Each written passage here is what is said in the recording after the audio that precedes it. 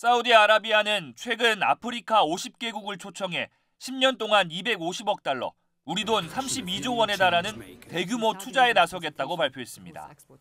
막대한 차관 등을 약속하며 물량 공세를 펴온 사우디가 유치전 막판 노골적인 퍼주기로 승기잡기에 나선 겁니다.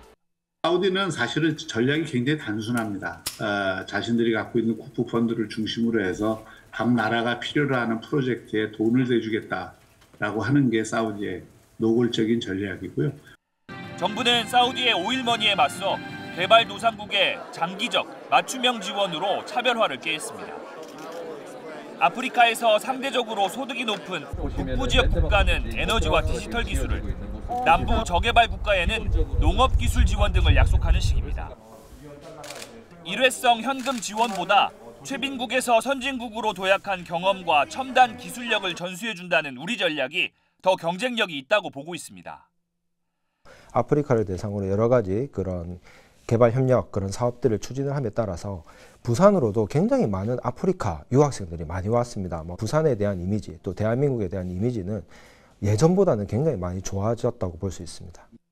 엑스포 비전도 훨씬 뛰어납니다.